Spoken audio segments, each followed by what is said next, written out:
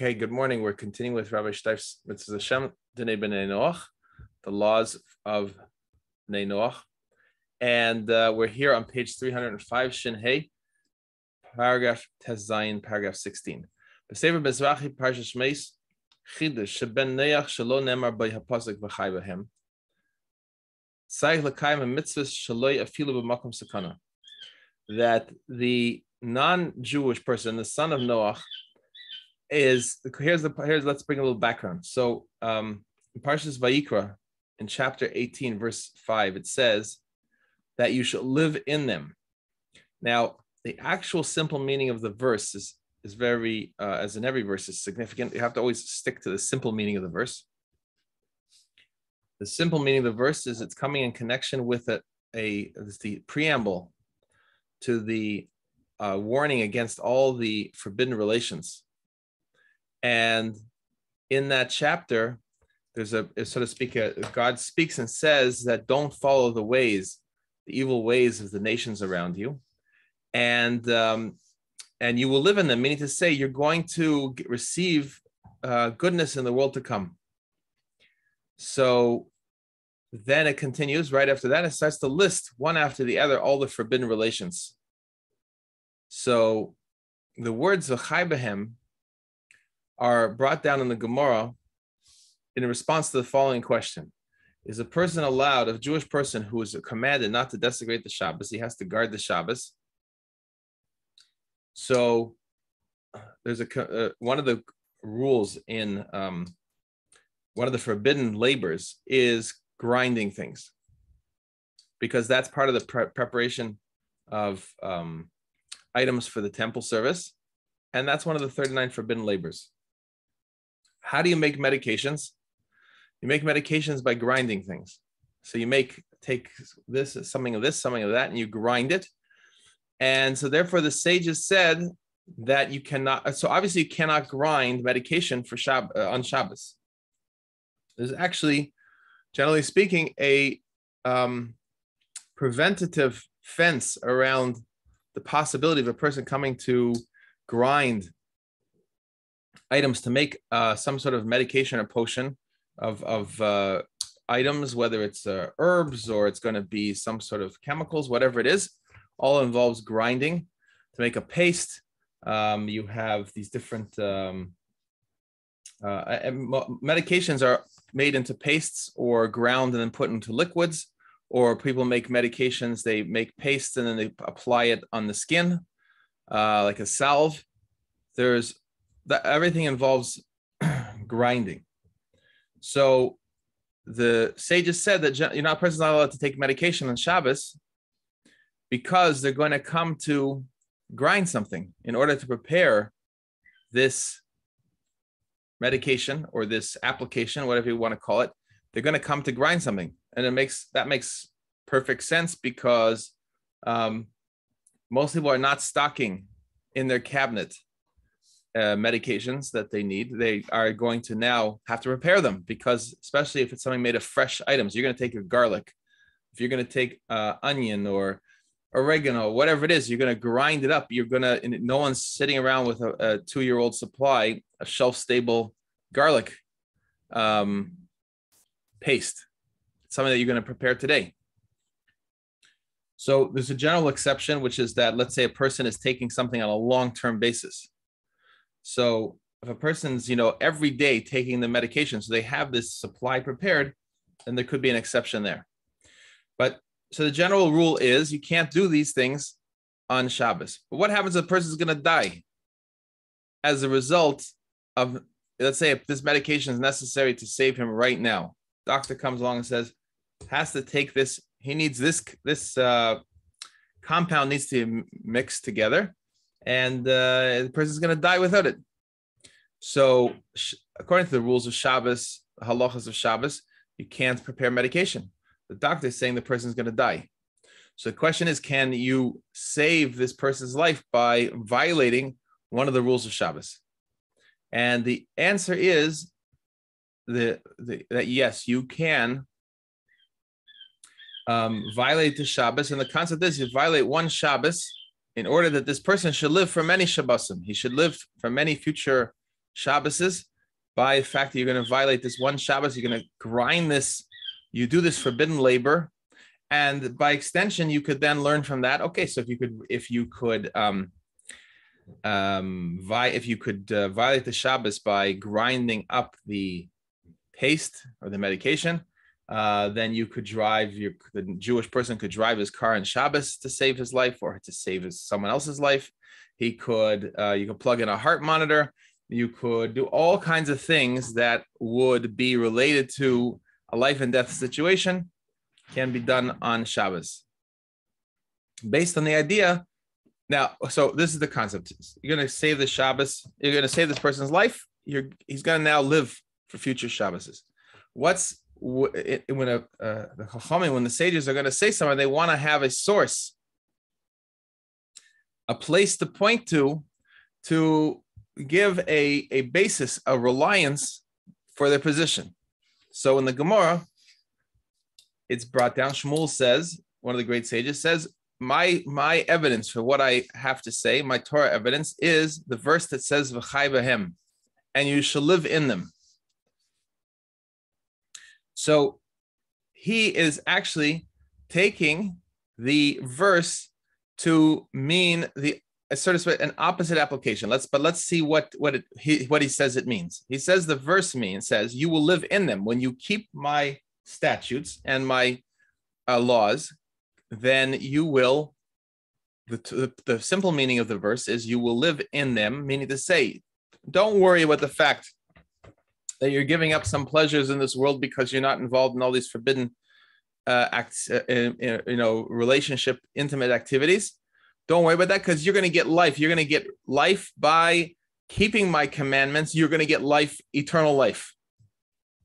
So comes along Shmuel and he says, I want to learn this to mean that if you keep my commandments, that you should live while you're keeping my commandments, meaning to say, don't do my commandments in a way that you're going to die from it in so he's he's he's not he's not contradicting he can't contradict the simple meaning of the verse. The simple meaning of the verse uh, applies.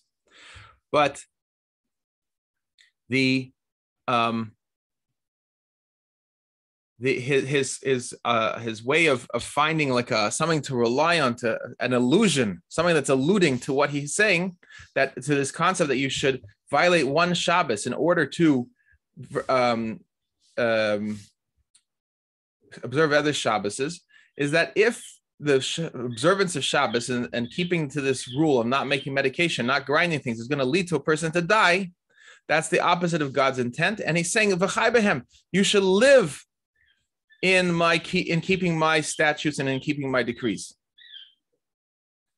So, in reality, this is, in a certain sense, an opposite conclusion from the original, the simple meaning, because the simple meaning is saying that you are it's first of all it's talking about life in the afterlife. It's talking about an eternal life right? And second of all it's saying that strictly observe my commandments and you will live.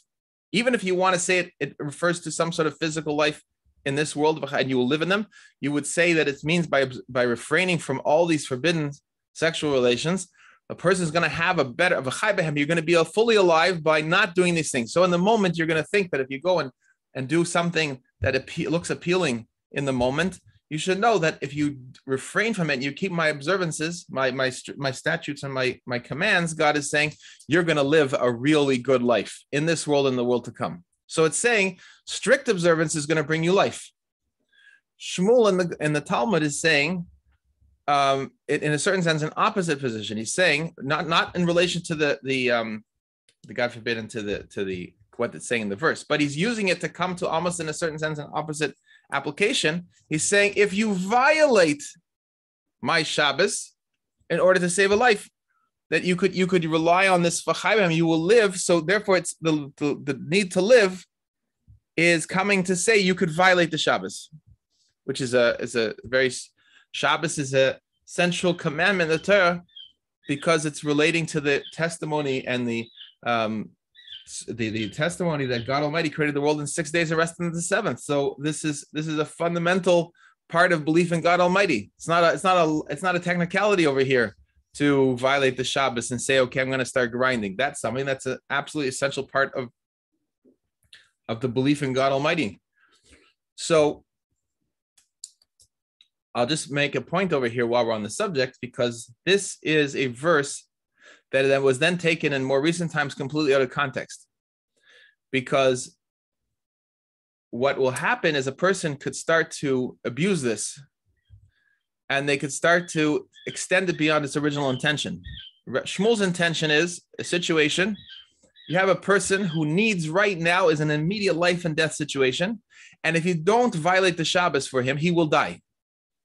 Okay. Now, you can take it one step further and say there's a good possibility. You have a doubt that he might die, even a slightly, maybe it's a little more remote possibility. We'll, we'll violate the Shabbos because we don't want to come close to him dying. But then you could take it further and further. You could say, oh, one second here. And, and there's a, a sage from the previous generation that the Chazan, Chazon Ish, he writes as follows. You have to be careful with this, this thinking because you might say, listen, he was speaking about the fact that many Jewish people were keeping their businesses open on Shabbos, which is a forbidden, you're not allowed to do business in Shabbos. So he said people are going to make a false argument. They're going to say, if I don't, if a person doesn't keep his business open in Shabbos, he's not going to be able to make a living. He's not going to have enough income. Then he won't have food. Then he, if he doesn't eat food, he's going to die. So therefore, since it says you will live in them, and you're not the, the, the, the commandments are supposed to bring you to more life, not to death. So therefore, uh, it's okay to keep his business open on Shabbos because it's bekuach nefesh. It's it's life threatening that he's going to if he closes the business on Shabbos. He says no, that's false. That's a false argumentation. You're taking all of this way out of context. The chayvehem, the idea that for saving a life you could violate the Shabbos is talking about a very specific situation with immediate results uh, or and or possibility of immediate results. Meaning, say that the guy is lying there. Could you could he survive for another six hours and and he's having a heart attack? Okay, there's a good chance a person could survive a heart attack for six hours. That many people survive heart attacks, but you don't know. So in that case, you could rush him to the hospital or or you could prepare whatever he needs type of medications that would help uh, regulate his heartbeat, let's say, or, or restore it or whatever it is. Okay. So what do they do when the public health warriors are thinking about how they're going to try to attack and sabotage Judaism and get the Jewish people to be fooled into um, abandoning Jewish belief and Jewish practice. The only way to do that is to attack it from within. So to come along with an argument that's based on a real Torah source, but then that's taken completely out of context, but sounds so good that a person can't really think clearly anymore. So they come along and they say, okay, there's something in the air in uh, March 2020. There's something in the air. It's very dangerous. The only thing to do is to keep everyone home. No, just cancel all gatherings all synagogues, all these shivas, all Torah learning, all family gatherings, all myth commandments of visit the sick, bury the dead. All these commandments were all of a sudden, boom, no more. Why? Because it says v'chai You can't do something if it's going to lead to your death, right? There's three general commandments that a person, a Jewish person, we learned last week, a Jewish person is obligated to give up his life, um, to not transgress, excuse me, murder, uh, sexual immorality, and um, and he's not allowed to do that. Is give there's three things, and and stealing. He can't murder. He can't be immoral, and he can't steal. These are things uh, that he's he's for. Oh, sorry, not stealing. Avodah. Um, the three things are worshiping idols, murder, and sexual immorality. Those he cannot violate to save his life. But everything else, he could um he could uh he could you know to if it's necessary to take make a medication, he could do that to save his life on Shabbos. He could drive, his wife's giving birth, he could drive to the hospital, call an ambulance. Okay. So they say, okay, well, since there's this danger in the air, and if you go to the synagogue, everyone's going to die or there's a chance that everyone's going to die, or a chance that even one person might die, then, and even though the chance is remote because you don't know that anyone in the synagogue actually has this deadly, what they're calling a deadly uh, contagion. So um, therefore, they say. Look, it says right here, live in it, don't die in it. So don't do any Jewish practices that could possibly even remotely lead to your death.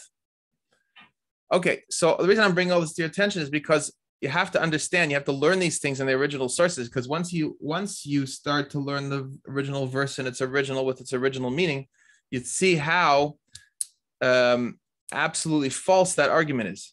Because first of all, the, let's go back to the verse. The verse is about not being immoral. It's not a. It's about not leaving the practices of Judaism and Torah in order to try to have an experience in this world. So first of all, the, the real meaning of the verse and the simple meaning is it has to be forefront of your mind. And if you look in the commentaries, they're saying that things that are related to the essential practices of Judaism are especially uh, susceptible to attack from the outside. So therefore, you have to be especially, if you look at the whole verse in context, you have to be especially careful about my my decrees and my my um, laws, says God Almighty, because these are things that are, are being attacked. So once you would read that and understand that, you would realize, hmm, this is kind of strange that they're trying to use this very verse tr- in the outside its meaning. Second of all, even according to what Shmuel is saying in the Gemara, that you should take um, measures to make sure you stay alive, even if it's at the expense of violating temporarily a a um, a commandment, uh, other than the, the three that I mentioned then um, then that's only referring to specific situations. And there's a certain standard. It has to be a that you know that the person is really life and death ill or or has a really strong possibility. This person right now not the possibility that maybe if he goes to the synagogue maybe he's going to catch something which maybe something blah, blah, blah, which which has a, a, a very small chance of even hurting him. Number two is it has to be that you know you have a solution that the solution that you're saying is going to actually bring the result. You can't make a medication for a person on Shabbos if you don't know that it's going to work, right? So let's say we said we could we could um, violate the Shabbos to, in order to make a medication. So um, let's say I'm I'm not a trained uh, health professional, you know, healer. I have no idea about the subject. I never even saw the disease, and I say I think that we should take um, this thing and we should mix it up and we should grind it up. But I have no track record of healing with this. I never don't know that it works. There's no general reputation that this thing works. You can't do that. You cannot grind that up to save the person's life on Shabbos because it has doesn't meet the criteria for being something that we know it's going to work or it has a very good chance to work. So you have to either have expert uh, people with experience. When we say expert, we mean actual experience, not theoretical expertise, but actual experience to say, I know that this works or it's generally known in the human population that this thing is um, is going to work. Okay, so then you could take the you could make the effort and and, and violate the Shabbos. So, anyways, the whole concept over here is being taken completely out of uh, completely out of context. But what it does is it's a it's a it's a slogan. It's a um, sound bite that sounds really good. Oh no, you got to be careful because the Torah says live in them, and going to synagogue or going to yeshiva could lead to death. So therefore, nullify all prayer in public, nullify all synagogue services, nullify all yeshiva. And people actually bought this. And many distinguished rabbis issued decrees based on this. So we have to be we have to understand this is the importance of learning Torah is you cannot rely on other people to tell you what the Torah says. You have to open it up yourself and you have to read it. You have to say, one second, what does it say over here? What's the context of the original verse? What Shmuel is saying, the reason I point out that what Shmuel is saying is actually an opposite of what the verse is saying, in the sense that he's the verse is saying, keep my laws stringently, be extra careful of my laws, don't don't even compromise on the smallest amount, and you will live in them. So Shmuel is coming and saying, and you live, you will live in them is coming to say you can violate one of my laws. Why it's so important to see that is because he's not his the reason for being able to violate the Shabbos in order to save a person's life is is not based strictly on this verse. It's a reliance that he has, an illusion that he wants to say, you want to, I'll have, I have a way to, to help you feel okay with violating the Shabbos to save a life. And I'm going to cite this verse. But you, so if you, and the, and we, the, uh, the, the sages agree with this, and we have the laws of Shabbos include chapters on when and under what conditions you could do what to save a, hu- a human life. But you have to understand that, that that Shmuel was not opening up a license to then come and undermine and dismantle the entire Judaism. He didn't come and say you could change the entire way of life to fulfill the um, the, the decrees and the instructions of the people that are coming to create a whole crisis in order to shut down humanity. That's not what he's saying. So that's why it's so important to be. You have to always be thinking, and you cannot. So as a non-Jew, non-Jew is going to say to himself, "One second, here I am. Here's a non-Jew that he's he's he's learning the Torah. He's accepting that God Almighty gave the Torah Mount Sinai, and He gave it to the Jewish people, and Moses, our teacher. And here's a rabbi who is a, um, successor to Moses, meaning he learned Moses' Torah, and he he has uh, smicha, he has rabbinical ordination that's passed down from generation to generation. And you have a non-Jew that's going to say, one second, compared to him, compared to this rabbi who's been studying Torah for, for decades, maybe the rabbi is 75 years old. He's been studying Torah since he's five years old, 70 years of Torah study. And the non-Jew says, he doesn't understand Hebrew to himself. He doesn't understand Hebrew. He he's barely um, is just learning these concepts. How can he uh, possibly have anything to say on any subject compared to the 75 year old Torah scholar? So the answer is, in what we learned already, that non-Jew from the Marama Fano, non-Jew has a mitzvah, is a commandment to learn the Torah that applies to him. It's a positive commandment, one of the 30 commandments brought down in the in the Gemara and Chulin, he has an obligation to learn. The way we learn is by asking questions. So you have to say, one second, does this make sense? What is the original verse? So you only learn it in English. You can only learn it in German or Spanish, whatever. One second. What's the context of this verse over here? What is the verse really saying? Um, I had better I better look at this. Now, what they're doing is they're using this verse. I used to look around, you see, they're using the verse to completely demolish all the basic principles of Judaism. Hmm. Does that make sense? Now, you might not know anything, you think, but you your common sense is still there. God, where's the common sense come from? It comes from God Almighty, and God Almighty gives you the ability to have the, the, the ability and insight to be able to look into the Torah and to be able to understand what the simple meaning is. And and the more you learn, you can go beyond the simple meaning, but but this you, it still has to make sense, and it cannot you cannot violate the simple meaning of the verse. You can't take a limited exception that's a, a an, an allusion to, to the idea of staying alive by violating the Shabbos, and then turn it into a whole demolition charge to try to un, you know take away the the Torah from all of humanity. So that's just I want to just digress there to talk about this so you can understand the context of this. First of all, it, it gives us an understanding of the what that's coming, what we're going to learn right now. And the question is whether this verse now, this concept, the Behem, applies to a non-Jewish person. Okay, so let's look inside what he says over here. So the par- the Sefer Mizrahi Parsha Shmeis Chidah, she comes up with an innovative thought in this book of Mizrahi that a Ben Neach, non-Jew, that it doesn't say by the non-Jews the verse, and you will live in them. So he has to fulfill his commandments even in a place of danger. So, what that means, a Jewish person would be exempt from fulfilling his mitzvah. Again, it's not doesn't apply to all mitzvahs, but in, in the concept we're talking about over here. So his mitzvah is don't make medication. So he's allowed not to fulfill that mitzvah in order to avoid the danger.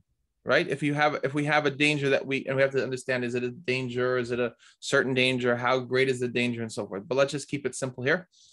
So an, a Jewish person, he would be forbidden to make to, to if if the if he's in life and death danger and the way to solve his life and death danger is to make the medication then it would be forbidden for him to refrain from that because he has an obligation to stay alive which would supersede his obligation to keep the Shabbos. But the, here it's saying that the non-Jew has to fulfill his commandment, even though it might bring him to danger.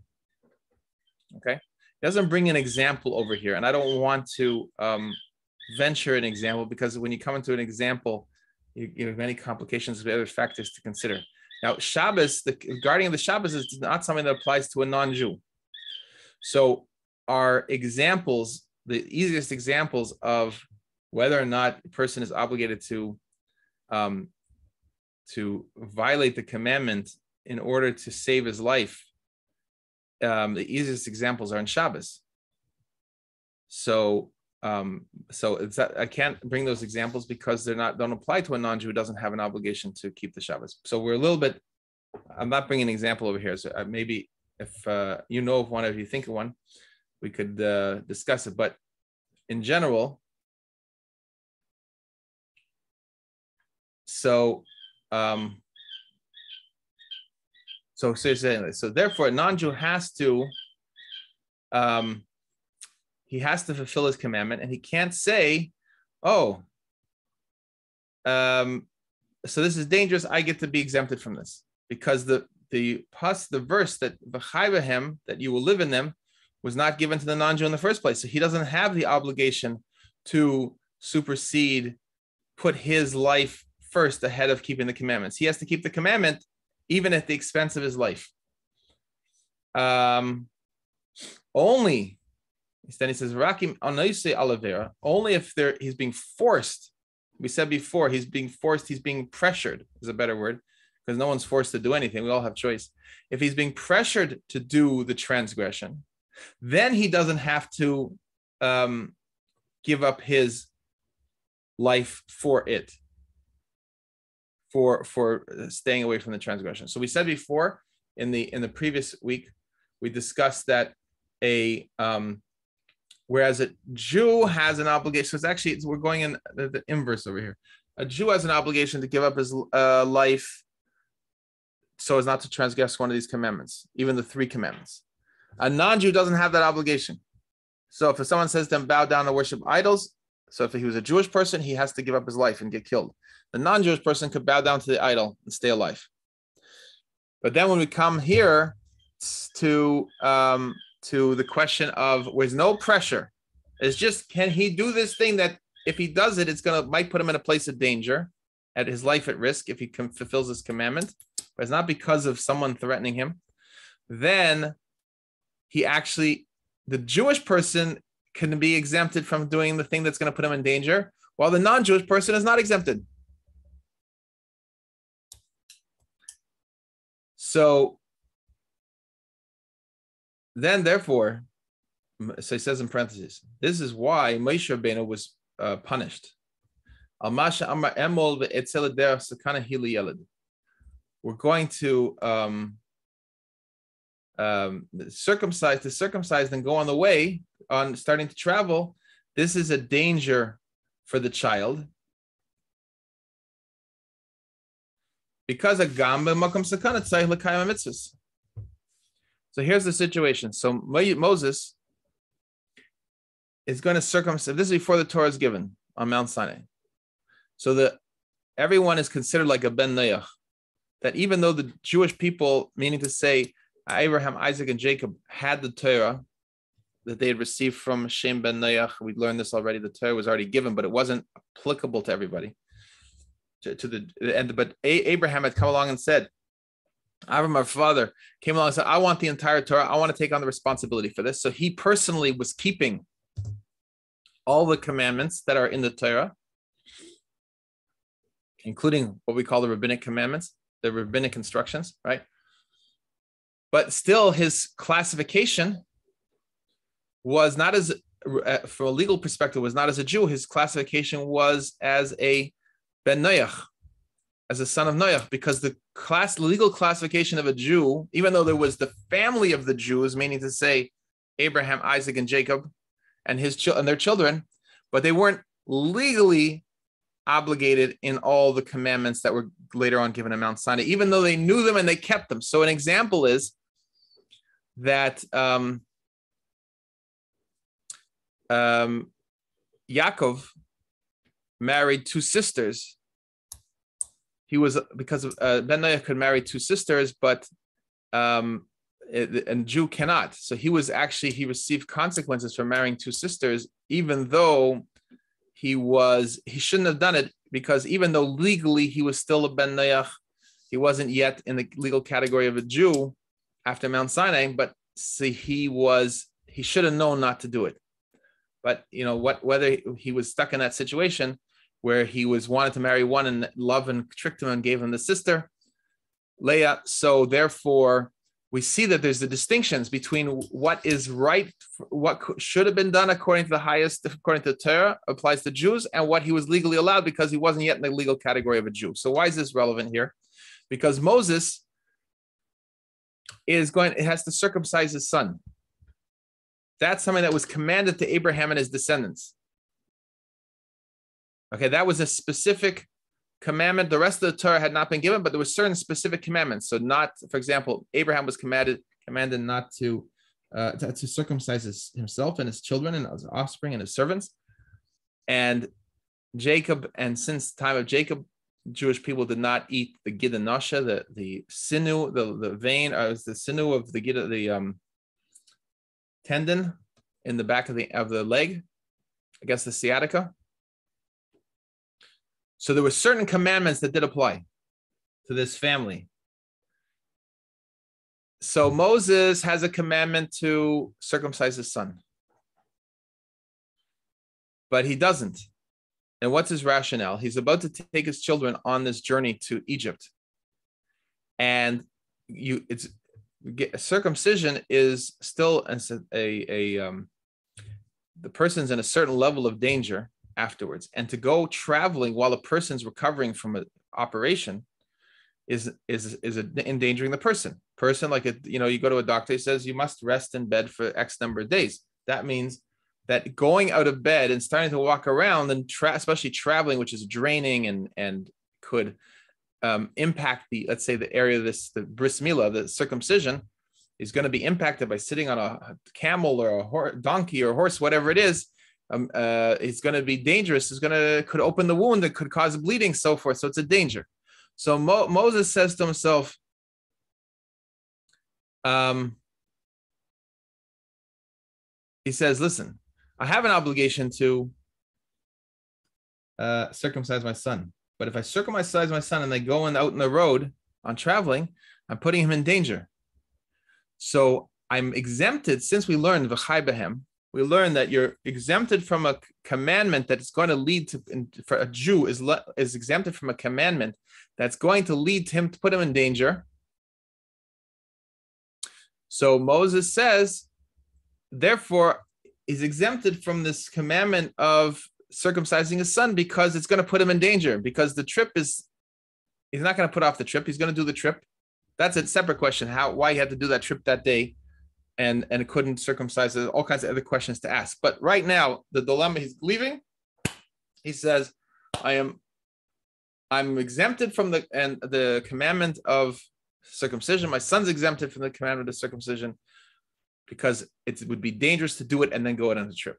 But yet he was punished for not circumcising his son. So why was he why was he punished then?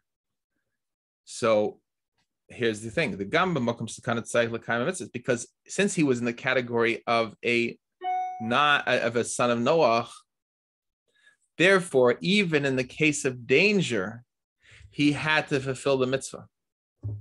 Right? What we're saying is that for a Jew, a Jew is exempted from the mitzvah if it's dangerous. A non-Jew is not exempted from the mitzvah if, even if it's dangerous. So Moses has the special commandment of circumcision, but since he's in the category of a non-Jew, since it's before the giving of the Torah, then he's not allowed to say he's going to push off the commandment because of the danger. What he has to do is do the circumcision and then go on, then travel because he's he's fulfilling the commandment and he can't push it off because of the danger that will come after by traveling after the circumcision. So um so so so even in a place of sakana, he needs to fulfill the mitzvah. So then um, there's another book called another holy book called Chemdes Yisrael that goes to great length to prove the Harambam lo svir lekin. The Rambam doesn't agree with his reasoning. So therefore, the Rambam concludes the opposite. And he says, no, a non-Jew is not required to fulfill a mitzvah even in a place, a time of danger, or a, a situation that would lead to danger, a, a life-threatening situation. Because because the, the verse that you shall live in them also applies to a ger teshav. Now, ger teshav is a is a ben Noach, is a son of uh, Noach, that lives in the land of Israel and, and has forsworn avodah zarah and and committed himself to live according to the Torah as it applies to the non-Jews. So that is applying to a ger teshav, this concept of not doing something that um, a commandment in a situation where it's going to lead to life-threatening consequences. And also, it's permissible for a to b'surim shelo b'makam sakana. Um, it's also permissible for them to heal with forbidden things that is not in a place of danger. So now, on the question that's raised by the Mizrahi up here, Tzayin Lashitas Mekubetzes Nidarim, Shakasha Kushazu, uh, Kushazu Uh, he asks this question, he answers it. Mashma the Svirale Gam Kain, the Ben Noyach Lo Nemar the Pasuk V'chai He also holds that a non-Jew is not given this instruction uh, or this application of you shall live in them and see over there. But li nira, and it appears to me, pashat shesakana hazulas shani. Shaben ena mitzuva daim. But Amar Meisha ben Ashahu Sakana Lahavlad So the Rabbi Steif wants to come up with a solution to all these problems about what's happening with Moshe Rabbeinu. That's that's raising all these questions. Is that Moshe Rabbeinu, when he was going to um, circumcise his son, it was not talking about his obligation; it was talking about the son's obligation. And the son, being a child, didn't have the obligation on himself, meaning he's supposed to be circumcised, but he didn't have an obligation to he didn't have an obligation to carry it out. So, since the child was not commanded to be to circumcise himself, so to speak, then therefore there's no issue that he could go. He doesn't have to get into the whole discussion of whether or not he's allowed to circumcise himself, even though it's going to be dangerous to go on the road, because there's no command on the child to be circumcised at that point, at that age. Meaning to say the child has to be circumcised at eight days old but that's an obligation on the father. But the child, the dangers to the child, and the the, the child is himself not um, um, commanded. So for Moshe himself, for me myself, it's one question of whether or not I am allowed to do the commandment, even though it's dangerous, or I have I'm exempted from the commandment because it's dangerous. But Moses is talking about a situation about his son. So the question is: Is his son under an obligation to circumcise. And he cannot, even though Moses has an obligation to circumcise his, he cannot put his son in danger because the danger is related to the son, not to Moses. You follow? It's the you have it, it, it ha, it's the, the person who's doing the commandment and exempted from the commandment and has to be the same person who's in danger, according to according to what he's saying over here. And since the child was not commanded, then the child's the, but the child is going to be in danger. Then there's no question in the first place that, and therefore he doesn't have to be circumcised. He's not violating anything by not circumcising himself. Okay. So this now comes down to the question then is um, being addressed from two different angles over here. It would come out that there's opinion that really no, a non-Jew does not have to put himself in danger to fulfill a commandment, and um, and that Moses is that, that you can't learn out a proof from Moses is being punished because of uh, that that he must have been punished because he failed to circumcise his son when he should have put his son at risk because his son was not under a command at that time. Okay. Next, Yud Zayin. So now we have to also understand something over here that when we're learning these halachas, we're learning it so we know what the rule is. For a non-Jew needs to know the rule, like Rabbi Steif says. I'm writing this so non-Jew should know what to do. but also you have to think of yourself in two positions as a non-Jew. One is your own personal conduct. You need to know how to guide yourself and you need to know how to guide your family. So that's why you have to learn. But there's a second part, which is that the, the first of the commandments that is the, in the way that it's ordered in the Gemara and Sanhedrin is the commandment of dinim. It's of, of executing judgment, courts of law, right? So you also have an, and every non-Jew has an obligation to make sure that justice is carried out. Okay. So right now, when you are living in Germany and uh, they pass a law that says uh, no one, um, every uh, person who you know, um, I don't know, flies an airplane, who flies to the right instead of the left when the clouds are on this certain level, you say to yourself, um, I, I don't, I'm not a pilot, and I'm not working in the court system, and I'm not a lawyer, and I'm not a judge, so it's irrelevant to me, right? What do you need to understand the law? Because you the, you've delegated to somebody else, you've delegated to the judges this uh, this uh, enforcement of the law, and they have to understand that to decide as the person was is he qualified as a pilot? Was the sun the clouds a certain level? Did he go right? Did he go left? That's all their bit. their that's their job.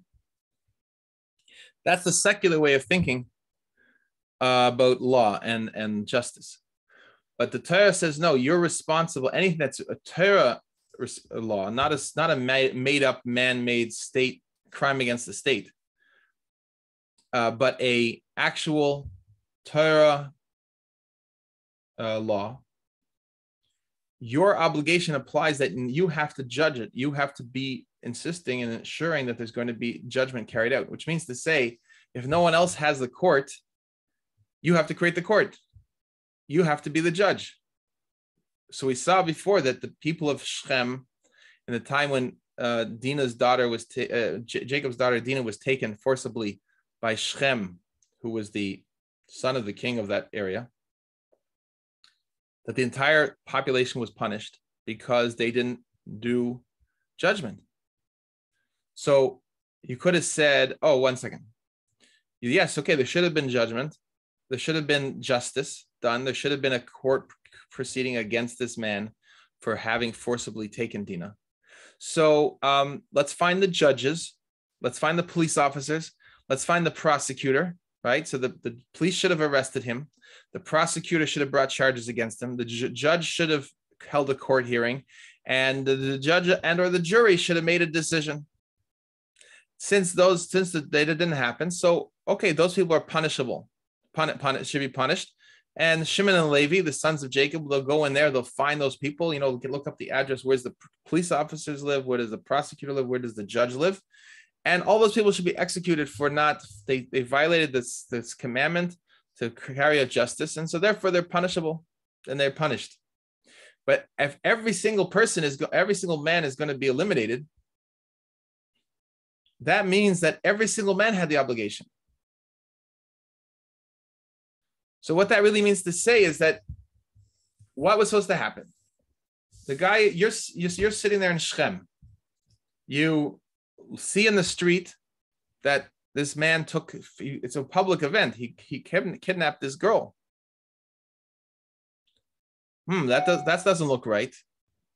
Oh surely the police are going to come and arrest him. Or maybe you heard about it from your friends. Do you hear what happened? Shechem was walking in the street. He saw this girl the daughter of jacob and and he took her. Oh my gosh. Everyone's talking about it. Or you wake up the next morning you read it in the newspaper right or you see it on Twitter. You're looking at your phone, you're like, Shechem takes Dina. Tweet. You know, there's comments going back and forth. Um, or it's on the, the, the news flash, whatever it is, comes across the telegram. Okay.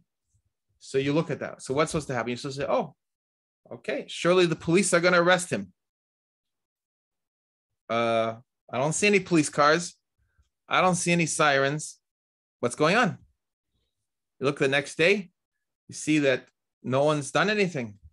There's no notice of arrest. There's no report in the paper that he was arrested. There's no thing on Twitter. It doesn't say police just raided Shechem's house and rescued Dina and take him into custody. So what's going on over here? No one's taking action. Well, then the next thing is, well, we better do something about it. Since the responsibility is on you as a resident of the Shechem to do it, what you were supposed to do is you were supposed to say, the police aren't doing anything, the prosecutor is not doing anything, and the judge isn't doing anything. So I have a I have a responsibility at the pain of of his own death, of his own execution for not doing this. He has a responsibility to say, okay, I'm going to do something about it. I am going to go and I am going to bring up Shechem on charges. So what would he do? He would say, okay, I'm convening a din, I'm convening a court. If no one else wants to participate, okay, I'll be the judge. He's going to say, he's going to be the judge. He's going to call for witnesses. He's going to investigate and he's just going to follow through and he's going to say okay shechem come to a hearing tomorrow morning at nine o'clock now you're going to you're listening to this and you're saying what are you crazy one second. Uh, who am i? I'm to no but this is this is the obligation that god almighty has put upon every single human being. This is this is what we have to take to heart. You see we have to think of these things practically. Rabbi steif is writing this as a practical instruction manual for you as a non-jew. So what does this mean practically? It means practically you see this is not being justice is not being carried out. You have an obligation to establish the court since there is no functioning court since there was no court hearing, right? Now if if the court has a system where you could bring private charges, let's say the judge you can go to the judge and bring a piece of paper and says I want to charge as they have in let's say United States of America, private citizen can bring criminal charges against another citizen when the state fails to carry out the charges, the citizen is allowed to do that. So maybe that, that's what you could do. You could come to the court and say, uh, no one's brought Shechem on charges. I so and so bring Shechem up on charges. That's one thing to do. And the court might say, okay, we're going to investigate, you know, you find and we're going to set down a date for a hearing. But if the court refuses to do that, then you have to establish the court yourself because the court is not carrying out justice. So now we understand that you have to know the laws, not just as an individual on how to conduct you have to know the laws how to, how to judge other people. How to how to enforce justice. Because you have an obligation to enforce justice. So this is why i wanted to preface this because we're going to the next paragraph we're going to talk about people who are exempt from judgment. You have to know, not as an academic exercise, you have to know as an actual practical reality is a person in a certain certain uh, category is he exempted or not exempted? What is the process? Who's who's who's committed the crime? So you, you're saying to yourself listen you're not you're not uh, going to worship any idols.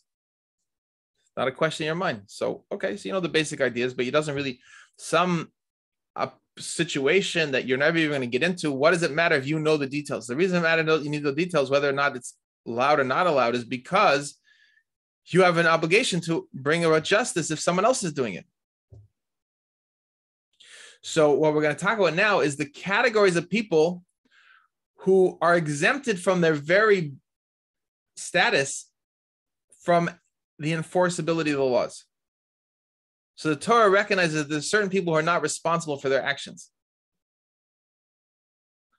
We said already that a person not knowing is not an excuse. If you don't, not knowing that the law is the law is not an excuse. If you didn't know that the particular person or thing that you're doing right now fell into the category because you, let's spot the example, a man thinks that the woman is his own wife. It's dark. He, and you know, and, and uh, he comes into his place and he, he thinks that this he's speaking together with his wife. So he didn't realize that. That's that's a mistake of fact. But a mistake of law he's there's no excuse. If he said oh I, he didn't know that it was not permissible to sleep with another man's wife that's no excuse. He's punished. And she's punished too so there there we learn that there's um, we're learning that you're not exempted for not knowing the law. But what about if a person doesn't have the mental capability to know the law? So we see over here, Yud Zayin, paragraph 17. We never punish from the non-Jews lo cotton, not a child, Below cherish and not a deaf person, below shaitan, not a mentally incompetent. A shaitan means a fool, a person who's who's in the category of um, an idiot. Okay, an idiot meaning to say not like your person that you don't like to cut you off in traffic and you call him an idiot. We're talking about a, a status of an idiot. He doesn't have uh, the brain power to know the difference between right and wrong. Lefi she'enam b'nei mitzvahs because they are not in the category of b'nei means sons of the mitzvahs. They're not. They are not. They are not falling in the category of people who are under the um, auspices of the mitzvahs. A child does not know what's going on, right? You take a child. A child walks into a store. He sees a really neat car. Wow, it's a beautiful car, little little toy car. He takes it and puts it in his pocket your obligation as a parent is to educate him to to bring him to an awareness to dedicate him into the service of god almighty by saying that belongs to somebody else. It doesn't belong to you. We didn't pay for it. You have to put it back. You can't take that. Or you have to put it back. Or we took you have to now go pay for it. Whatever the correct solution to that situation is. But a child on his own does not know the difference between what's you bought for him and what's the store offering And if he does know at some point, he's still not competent to make good decisions. So he's not going to be punished for taking that car. If a person is deaf, he can't, he, he's not able to hear, he's not able, he's not, he's not registering with him the what's going on in the world. A person's a shaita, a person's an idiot, mental incompetent. He also doesn't understand what's going on. We said before that a person has an obligation to know the commandments from his own investigation of, of what's going on, right? So these people don't even have, first of all, if you explain it to them, they don't understand. And secondly, they don't have the mental capacity, they don't have the, the faculties to be able to do their own investigation. So therefore, they're not they're not considered responsible for keeping the commandments. He cites there to the Rambam in, in the 10th chapter the Laws of Kings, second halacha. Ad So now we have a question. Okay, fine. So we know that these three, three categories of people are not culpable, they're not punished. But when, when is a person a cotton? A cotton means a cotton means small, as opposed to a gadol, which means big. Until when is a person a juvenile? Until when is a person a child? So until when the discussion of until what point is a person called a child is a ben child is not so well explained not so clearly explained and from the simple meaning of the Rash, the, the simple language of the Rambam, it seems to be implied. Shekotten hainu she'eno ben yud gimel shanim v'yom echad shehevi shtei cyrus it seems that a child is not is, is is sorry is someone who has not come to the age of 13 we're talking about a man here boy has not come to the age of 13 and uh, brought two hairs. Hairs representing the stage of puberty that a adult a, a human being when they go from the stage of childhood to adulthood is going to have physiological changes in their body and one of the changes is that the first changes is the beginning of hair, pubic, hairs start to grow. So that's what we can know that a person is now reaching adulthood. So the age for a Jewish child to become an adult is clearly established it's clearly established that a man, a boy becomes a man at age 13 and one day. Then he is the age in combination with the signs of puberty now bring him to the state of manhood. He's now legally a man and he's responsible for his actions. A girl, a Jewish girl is age 12. Girls mature earlier than boys. A girl is now considered a woman at age 12, combination of age and uh, the beginning onset of puberty. Now, today, practically speaking, we do not investigate for the hairs. We just go by the age. Look at the birth certificate. If it's 13 years and one day, that's it. The person's considered an adult.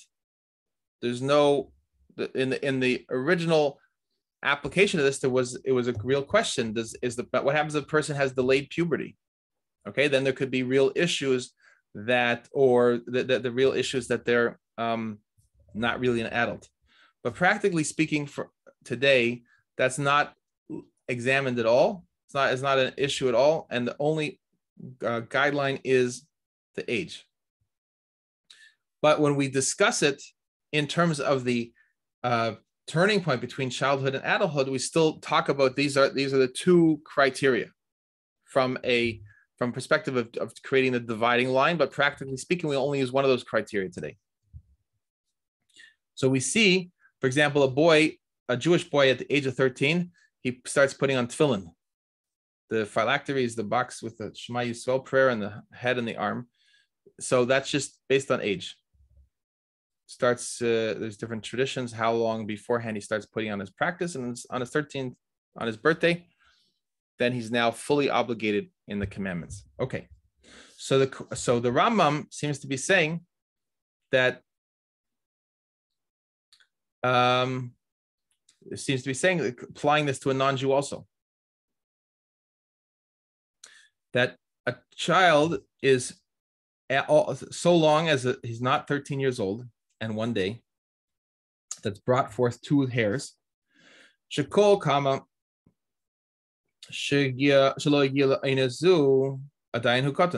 so long he's, he's he's not reached this phase, he's still a child. That's to say, in the case of a boy, a male, a male. in the case of a female, Shir Gadlusa, he Meshavia Beisaras, he bas Yud Shana Echad. From the time she brings out two hairs, and she is Bas Yud Beis. She's a child of a daughter of 13, uh, sorry, 12 years. B'yom Echad on one day.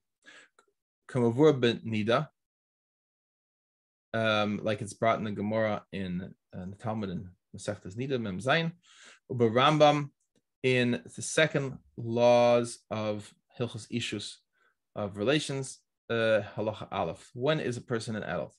The Sefer Chemdes Yisrael daf kufyud gimel.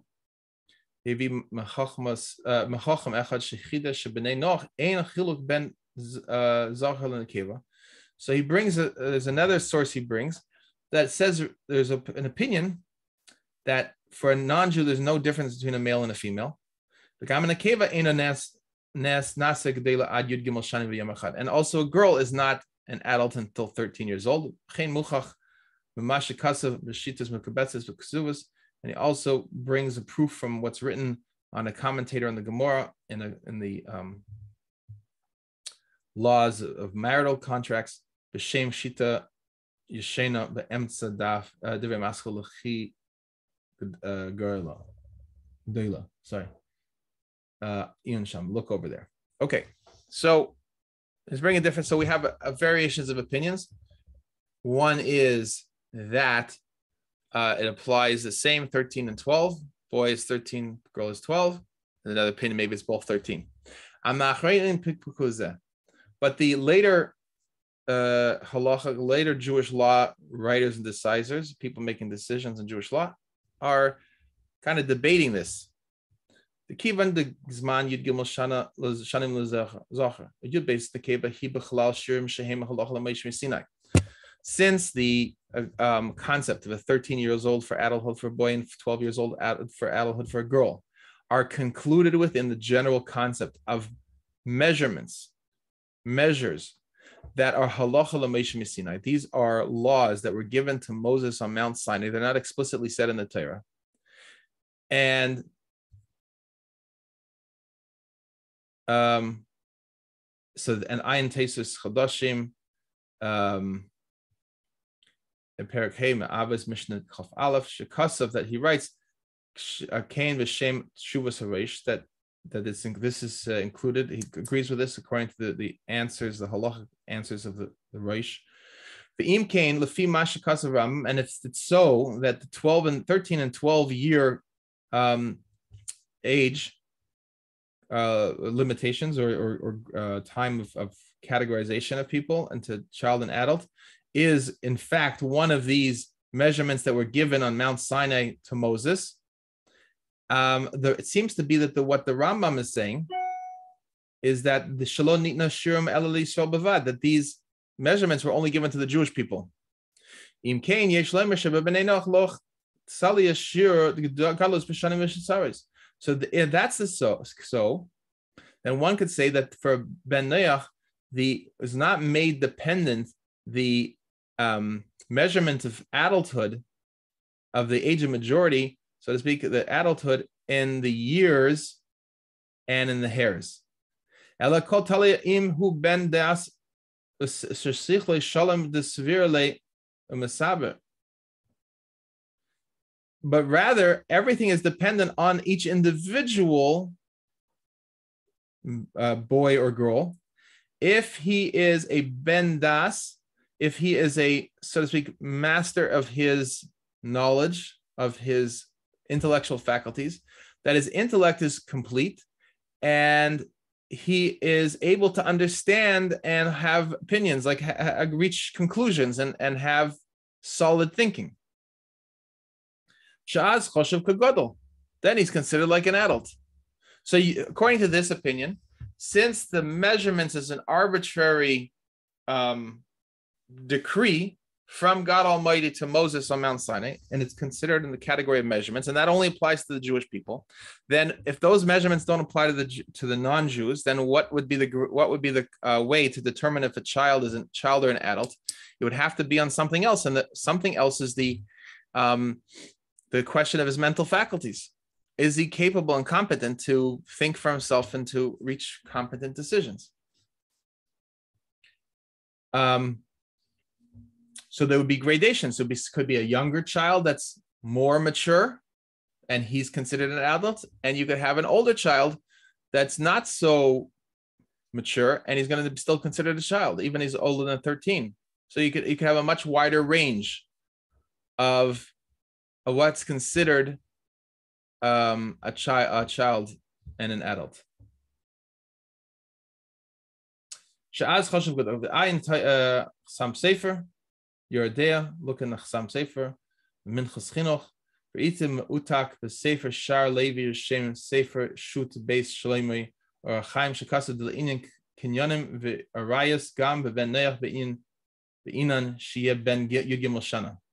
So then he's quoting a number of later sources that say that even by a um, that, that in the matters of acquisitions because where where does this legal issue about age come into effect? So we have we said over here in the in the beginning that a child is exempted from the punishment for any of these mitzvahs. So you have a very clear understanding that if a child is a chi- a person's a child and he killed someone then he's he's, he's not going to be punished for killing somebody if he steals worship idols then uh, he's exempted from punishment so it's very important to understand what age is that going to be uh, taking effect. But the other issue is when is he competent to make a business deal? Right? If a, if you have a store and a three year old child walks in and says, "I want to order," you go to the BMW, the BMW dealership and the cars cost uh, I don't know hundred thousand dollars, let's say, and a three year old child walks in and says to the manager, "I want one of those." Okay, I I agreed to buy one of these. Here's a down payment. gives a dollar. Okay. Now that would be considered a. I'm going to come back in three days with the rest of the money. That's a contract, right? So now, in, in an adult, if an adult does that, it's a contract. He's obligated to buy the car, and if the if the car dealership said, "Okay, sir," the car dealership is obligated to sell him the car, and he could sue. He could sue to enforce. Either one could sue to enforce the contract. But if a three year old child does that, then everyone understands that that's not a contract. The child has no obligation to come back and pay the money, and the store, the the the um, the, the BMW dealership has no obligation to uh, can't go and chase after the kid, and he can't, you know, uh, it's not a deal. There's no there's no It's interesting in contract law, they talk about meeting of the minds, right? So if the mind isn't completely, you have to have a contract, you have both people have an agreement. Their minds meet and on the same terms. A child doesn't have a mind developed enough, you can't have a meeting of the minds. Even though superficially the talk might be like an adult, you could have a nine-year-old child, a six-year-old child that could talk in a way that says, I'd like to buy this, you know, walk into a store, give me five, I want to buy $500,000 of these Lego sets. Okay, it sounds real, but it's not, it's not legally binding. So when a person's a child's an adult, however, now he is, his purchase is binding. So when we need to know when is his when is he an adult? This is this is practical everyday a relevant discussion as to is this a valid acquisition or not. So he's bringing more recent commentators, uh, more recent halachic writers that say that in matters of acquisitions and the matters of immorality, then also a ben Neach, a child of Neach, a son of Noach, is required that he has to be 13 years old. So, meaning according to those opinions, that a, 11 year old that buys something is not a, considered an acquisition, and um, or makes a contract not considered a contract. And uh, same if he does something that's in a moral uh, relationship, he's not culpable because he's under the age of 13. And he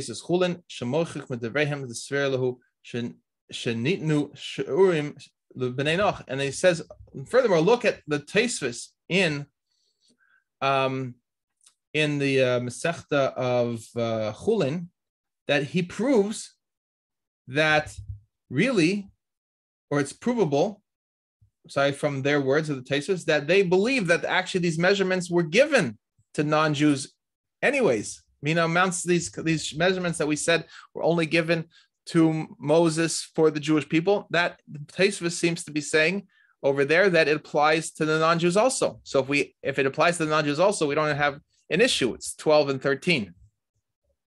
Pri Megadim, uh, brings the source over here, Yosef Chulin, Am Shut Beis Shlema Hanal Kasav the Ein Raya Yunsham. But the um, another writer says it is uh, there's no proof from this. Okay, so we'll conclude here, but I want to conclude on the following point. The practical question is, what is the end result over here? What what are we going to say we have to come to a conclusion because we cannot say we're leaving this open ended, right? Here you are obligated to follow these rules. You have to teach your children what the uh, consequences of their actions are. When are they considered an adult? And you also have to understand that um, not only do you have to do that, but you have to you have to act as a, you have to make sure justice is enforced. So we said about Shem that you have an obligation. So there's Shem, there's no question. He's a he's a full sized man. He's uh, 26 years old or 33 years old or whatever it is. You don't have an issue here. It's clearly he's culpable. But your obligation is to say, okay, you saw now a a um, 12 year old kid doing something. Do you have to bring him up on charges? What's his punishment? So you have to know the answer. So this is an example of where you can see that the, the, the, the way of getting to the truth is, is we are debating what is the application of this. And there's an opinion like this and there's an opinion like that. But if we leave it solely in the debate, then we are going to actually we're leaving we're leaving the world in chaos. And not only we're leaving the world in the chaos, but the Jewish person is now getting stuck in the in the doubt because he's coming along. Oh, could I make a class for a non-Jew? I need to teach the non-Jewish person the Sheva Mitzvahs B'nai Noach. But I don't know the answer to this question. This is an unresolved issue, and it's kind of an, an obvious question. So a person is going to say, I don't know how to resolve this question. I'm going to be giving a class, and a non-Jew is going to ask me, this question, I don't know the answer. So person is going to be shy. He's going to shy away from going out into the world and teaching this stuff because it's left unresolved. So the question is, is so that we ha- we have to come to a resolution. So the first point is as to the Jews' reluctance to teach because this answer is not clear. we can dispose of that by pointing out that it the answer, while it's important, is not relevant to his teaching the seven laws of Noah. Because everyone who's uh, he's going to be teaching needs to learn it.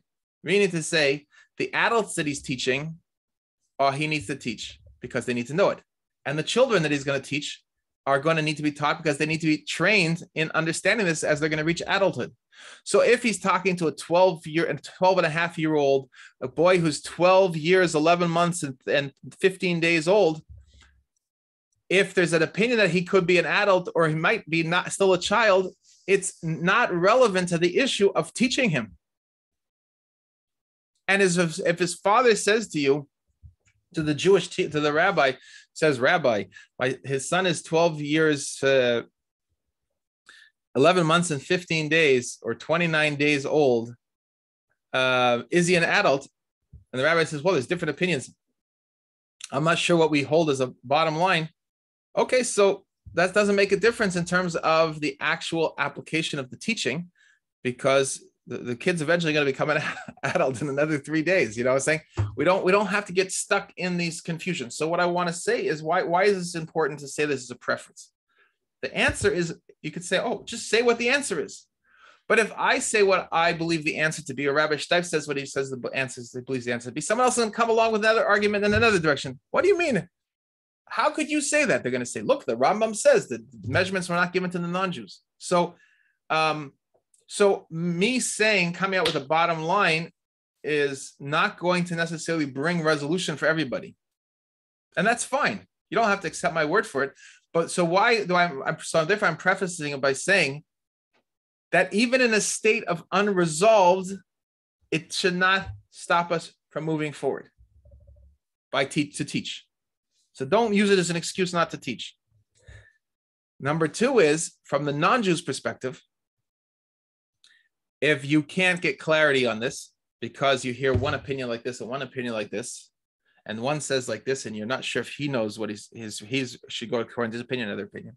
So the answer is that it also doesn't stop you from carrying out your personal obligations of the Sheva Mitzvah B'nai Why? Because if you are an adult, clearly over 13 years old, and and you know have the mental faculties, there's no doubt that applies to you.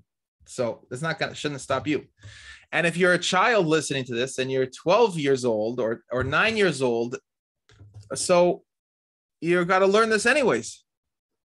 And you've got to we train the children from the earliest ages that they have any conception of of the difference between of who they're praying to and who's you know that there's a God in the world and and even from even younger ages than that we start changing tra- training children in the right things to do so you obviously tell your kid when he's four years old and he picks up a knife and he's chasing after somebody with a knife, a sibling with a knife, you tell him you can't kill him, right? You don't say, "Oh, one second, I'm not really sure. Are you an adult or not?" Um, I don't know if I could tell you not to kill. No, the answer is you have to tell a child at the youngest age, we don't kill. We don't eat the liver of a living animal. We don't um, steal. You're already telling a four-year-old, don't steal this from your friend. Don't take his scooter. Don't take his tricycle.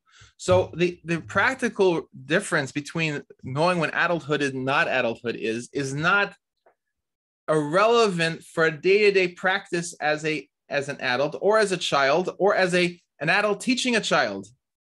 It has no practical significance. Furthermore, the um, the the mark the marking of time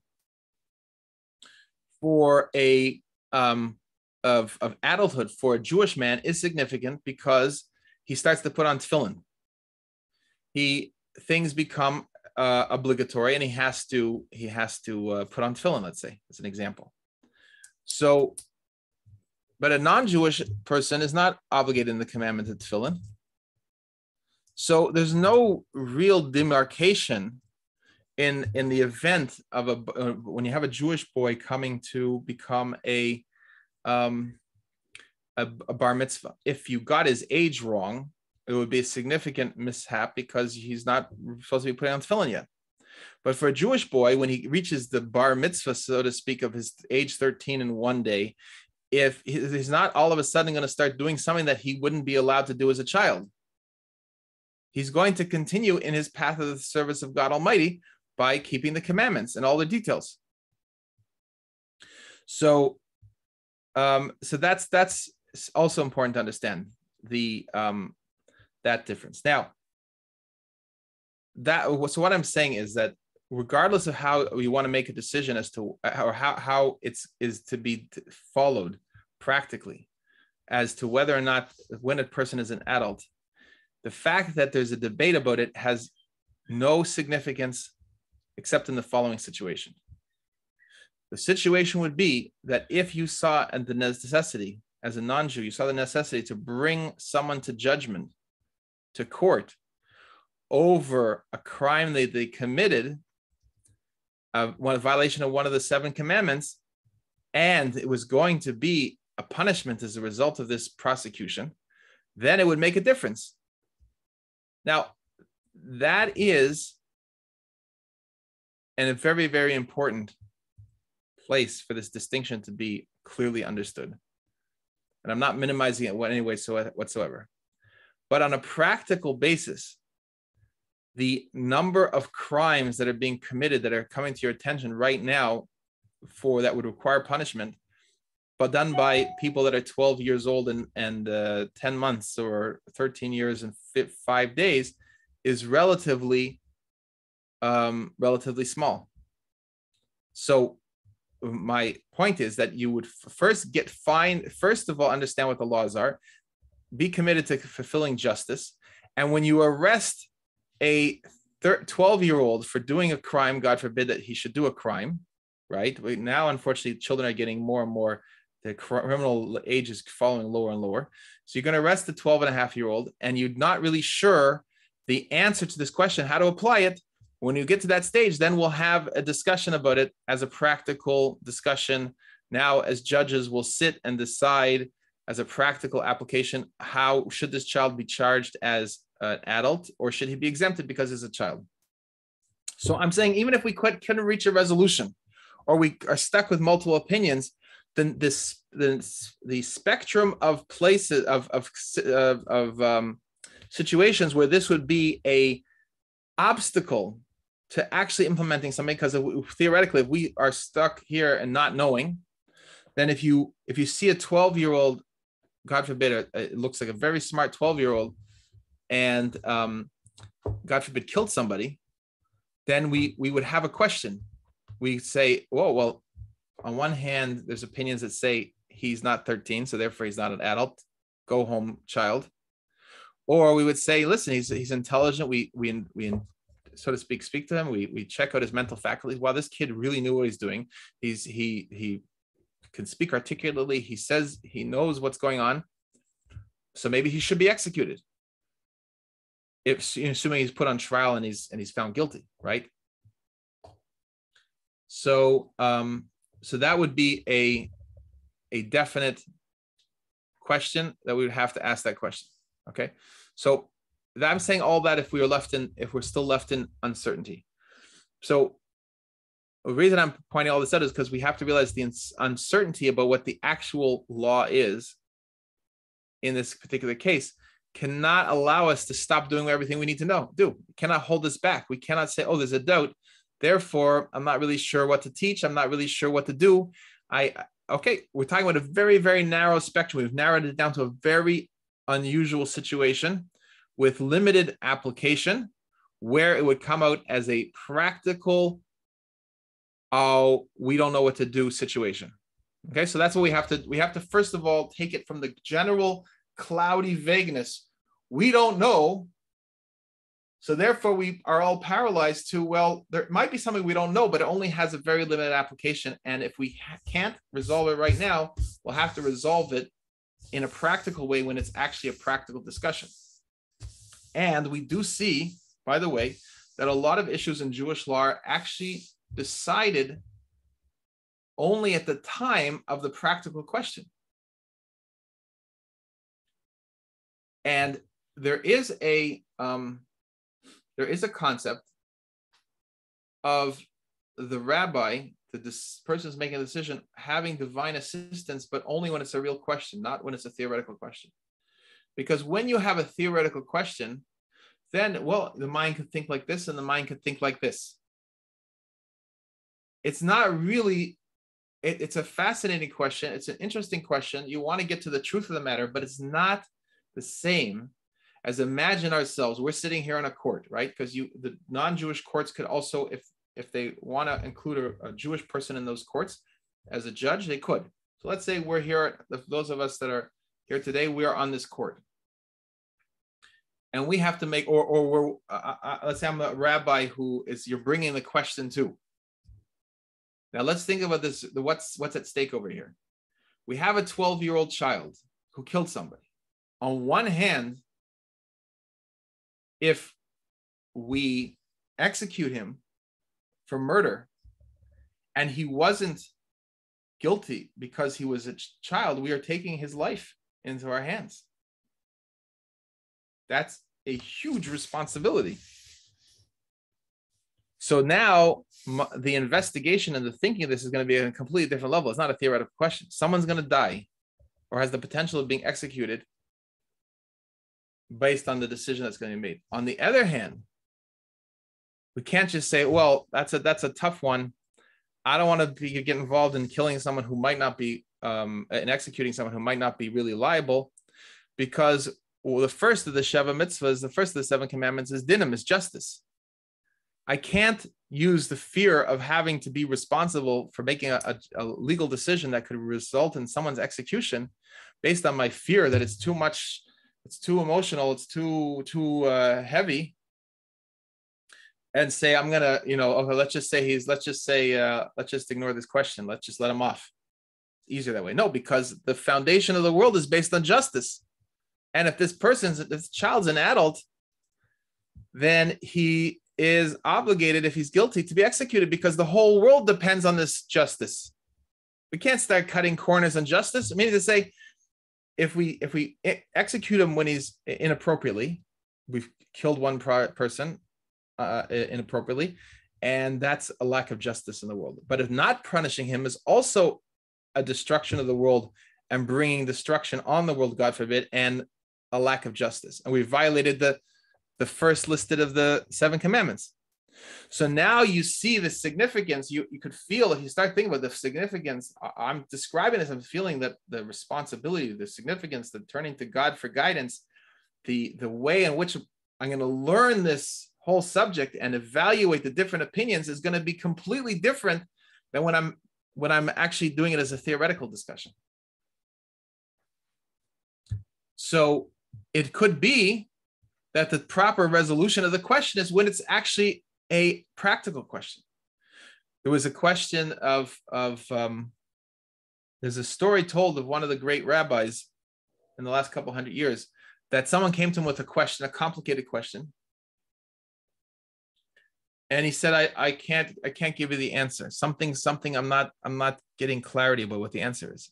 And he asked or he was he found out that the question wasn't even a real question. It was like a theoretical question. Someone said, "What happens if this happens and this happens?" Some complicated scenario, and he couldn't he couldn't get clarity. He couldn't get divine clarity because it wasn't really a question. It was a theoretical question, and his ability, the divine assistance, the siyata deshmaya, this assistance from heaven, to come up with the right answer is is the is uh, related to the actuality of the question and the um, that then invests the person who's challenged with the question, who's now faced with making a decision to bring God's word into the world right now, right here, for this exact situation. We have this person is accused of killing or, or whatever he was accused of, and we have the victim and we have the, the situation, and it's now real.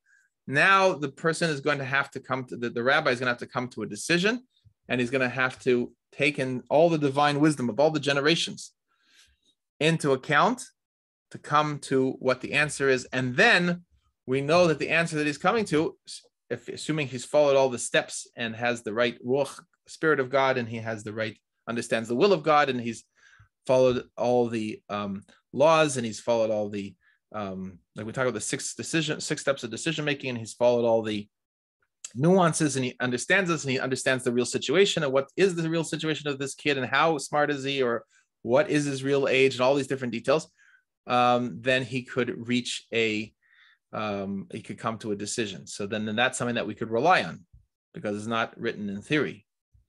So um, well, God willing, in a future class, we'll probably get, come back to this and explore this more about what some of the possibilities are and how to resolve this as a practical basis.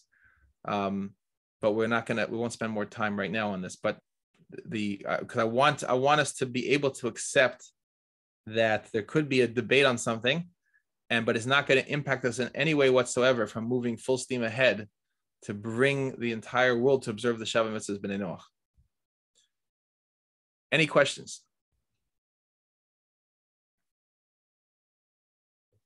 Okay. Very good. Okay. Um, let me stop the recording here.